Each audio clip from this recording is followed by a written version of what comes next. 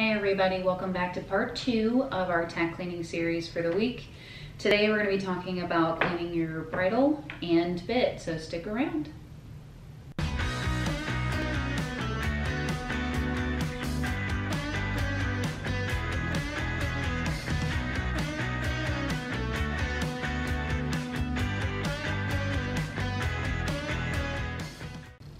If you didn't get a chance to catch my last video where I showed you how I clean my saddle, I will leave the link up above so you can click on that.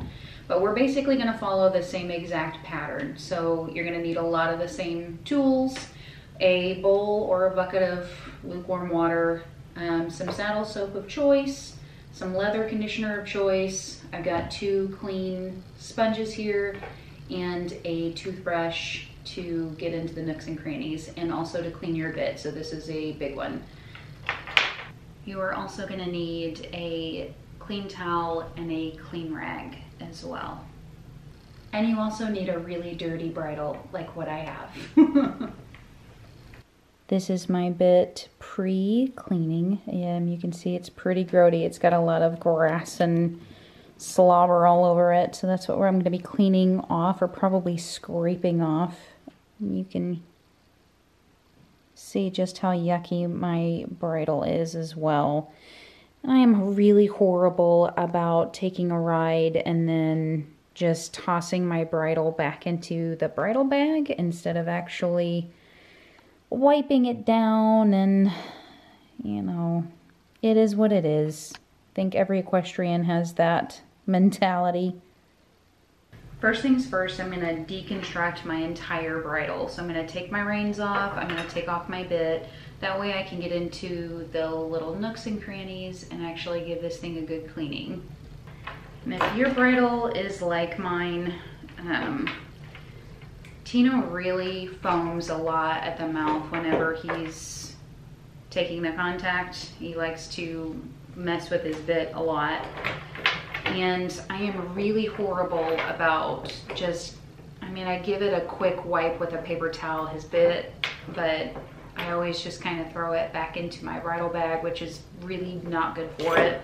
But the leather over time, because I do that, gets really hard to um, take the reins and stuff off when I just want to use my bit or if I want to change my bit or whatever, it's the leather gets really hard. So it really needs a good cleaning and it really needs uh, some conditioner because it is not very supple.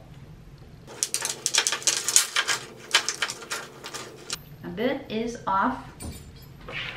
Um, so I'm gonna set this aside so that I can scrub it with my toothbrush later because it is really grimy. So I'm gonna give it a good cleaning as well. Word of advice, when you're doing this, don't do it on your dining room table.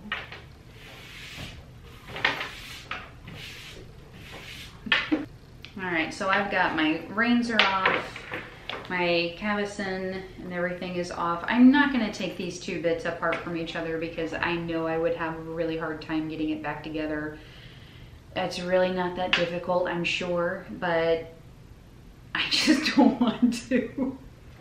But if you really want to give your bridle a good cleaning, deconstruct it as much as you can because dirt kind of hides into those little spots that we don't tend to clean very often. So do what you wish, but for me tonight, I am not going to take this apart. Basically, we're gonna follow the exact same instructions that I used for how to clean my saddle. So I'm gonna start out with a very damp cloth to wipe all of the excess dirt and grass that has somehow gotten stuck on here and hair and all of that stuff. You wanna remove that before you apply the saddle soap and the leather conditioner because you don't wanna add an extra layer of dirt on top of your dirt, if that makes sense. If you just apply your saddle soap and your leather conditioner on top of a piece of leather that you haven't actually cleaned the excess dirt and stuff off of, you're just creating a layer of stuff over top of the dirt. So you wanna remove that first. Leather and water do not go together very well in excess. So just like in my last video, I'm going to stress damp cloth only. Uh, just to wipe everything down or what I would call to rinse things off whenever you've applied the saddle soap. So first thing I'm gonna do is get my rag damp and I'm gonna wipe off all of the extra dirt and all that good stuff before I do anything else.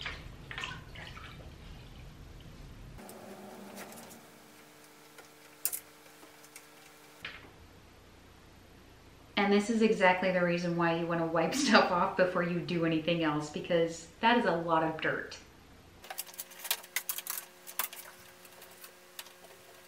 I like to pay extra attention to the little parts of my reins that actually come in contact with my bit because slobber and stuff gets all over this and I mean, it probably gets more dirty than any other part of your reins. So just pay extra close attention to this part getting um, stuff cleaned up.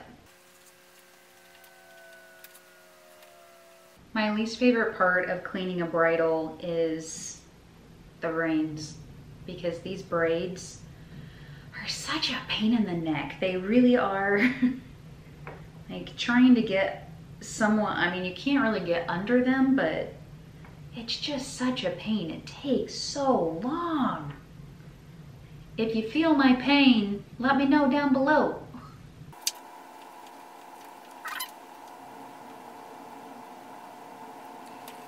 Next part of the tack cleaning business is to apply your saddle soap, which you're gonna do with a damp, clean sponge. Again, damp. So you're just gonna get your sponge damp. with your damp sponge, you're just gonna get a little bit of saddle soap on there. You're gonna apply it. And I just however you can. When I'm working on my saddle, I like to work in a circular motion so that the soap gets into the leather and I like to work in sections and I'll do the same thing with my bridle. So I'll work on the cavesson part first and then I'll rinse it off and then I'll move on to the next part and then I'll rinse it off. Again, when I say rinse, I don't mean to stick your bridle into like a, a bowl of water. You're just gonna use a damp cloth to pull the soap off, rinse it off, pull it off. Um, so always use damp anything on your leather. You don't wanna douse it, that is not good. So just a little bit. One other thing that you want to be mindful of is that you wanna get the top and bottom side of your bridle. You don't wanna just clean the top part. The top part is for pretty, obviously that's the part that everybody sees, but the bottom part is what actually touches your horse's face. And if you've got an excess buildup of sweat and dirt and hair and all that stuff that's touching your horse's face, that's gonna hurt over time. So you, you wanna get that stuff off. So do the top and the bottom.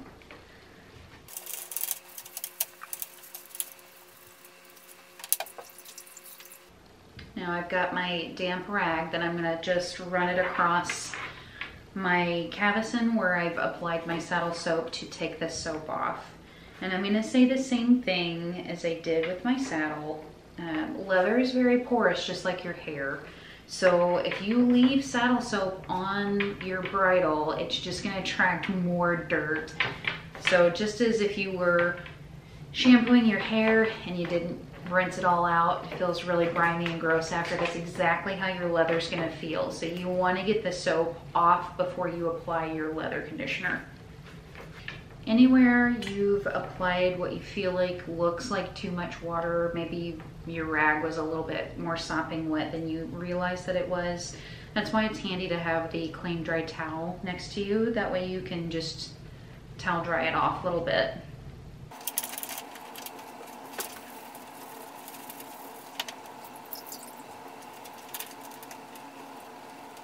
Cavesson and headstall are clean with the saddle soap.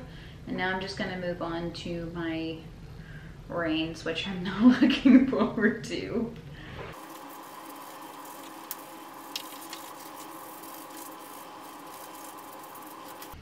Ah, clean reins, the best. All right, for our last little part, we're gonna put the saddle soap away and we're gonna pull out our leather conditioner. I have this Absorbine Horseman's One Step. Um, it's just something that I got at TSC. Same thing goes with my saddle soap. It's Feeblings? Phoebings? Vibings? I have no idea, but this is always what I've used. And it's good stuff for any kind of leather products. So both of these I got at TSC. Um, I'll put the links down below. You can also get them on Amazon, so I'll leave the links down below for that. So we're gonna pull out our leather conditioner and a clean sponge, which you don't have to get damp this time. Um, you're just gonna stick it in there and work it into your leather. Same thing with the leather conditioner as for the water or the soap. A little goes a long way. You don't have to use a ton of it, just enough to actually work it into the leather and make your leather supple and soft. If you do actually put too much on, just use a clean, dry towel to wipe the excess off because this is not something that you rinse off, you leave it on your tack. With the conditioner, really, again, the places that um, see the most action or um, like this part where my reins actually um, buckle together, that sees a lot of wear and tear. So just that's that type of area that you really want to get into and condition. Same for the leather conditioner as with the soap. Just make sure you get both sides. Don't just get one side.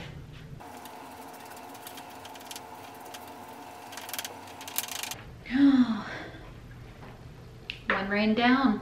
And last but not least, before I clean my bit, I'm going to condition my headstall and cavesson super quick. Okay, this beauty is finished. Whee! So on to cleaning my bit and then I am done. I'm not sure about you, but I do not like the taste of soap and dirt. So I went ahead and washed my bowl and filled it up with some clean, fresh, warm water to soak my bit in. I have not been diligent about cleaning my bit after every ride. Some people do that. I probably should. I do wipe it off with a paper towel because like I said earlier, Tino does get really frothy sometimes. So I do try to wipe it off in between rides before I stick it in the bag, but it's still all wet and grody. So because of that, there's a lot of stuff that's really stuck on here. So what I'm gonna do is I'm going to soak my bit for just a few minutes. You don't wanna let your bit soak for too long in your bowl of warm water, just for a few minutes. It is made of metal, so you don't want it to rust. So just leave it in there for a few minutes, just long enough for the crusties to get soft so it's easier to scrub off with a toothbrush. All right, it's been about five minutes since I've started soaking my bit, so I'm gonna go ahead and take it out. I did go ahead and put a tablespoon of distilled white vinegar in with my water just because it's got natural antibacterial properties. And I wanna get all the help that I can. it's pretty gross. So I'm just gonna, oh yeah, it comes off pretty well. Thank goodness. I thought that was going to be really hard. That's a lot of yucky.